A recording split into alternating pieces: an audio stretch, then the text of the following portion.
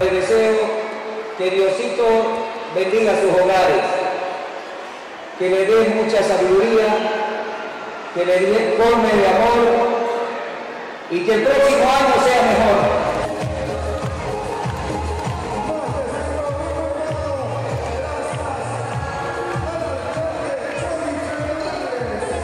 Estamos aquí con todo el equipo de la subalcaldía que nos están ayudando, las juntas vecinales que nos ayudan también a organizar.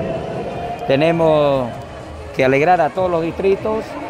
Quiero recalcar de que esto no es con presupuesto de la alcaldía, es un apoyo y de todos, concejales, su alcalde, el alcalde y todos los amigos que queremos alegrar a los niños.